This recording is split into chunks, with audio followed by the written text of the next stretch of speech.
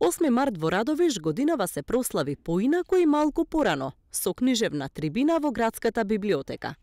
Темата беше жената како литературен лик, видено низ женските ликови во делата на современата македонска авторка Лилјана Пандева. А, не случајно Гордана Здравковска ја одбрала оваа тема, уште помалку случајно го одбрала овој ден, наспроти 8 март, затоа што а, тежиштето носителите на сите главни дејства во моите романи, па дури и во мојата проза, особено во поемата Капетаните, се женските ликови. Тука станува збор за жената како љубовница, како сопруга, како мајка, пред се како мајка.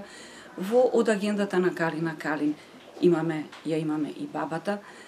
Во секој случај, жената како дарител на најбезусловната љубов на овој свет. Пандева дојде на покана на професорката по македонски јазик и литература Гордана Здравовска, која вели дека ваквите денови заслужуваат символично обележување, особено поради огромното значење на жените во македонската литература.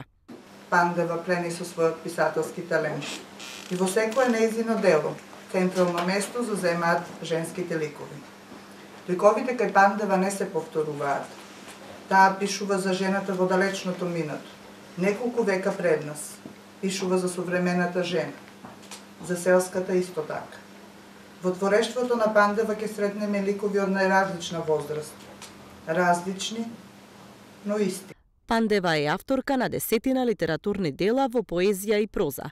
За незиниот роман Доилката ја доби наградата Стале Попов што ја доделува Друштвото на писателите на Македонија, а за поемата Капетаните ја доби и наградата Глигор Парличев. Música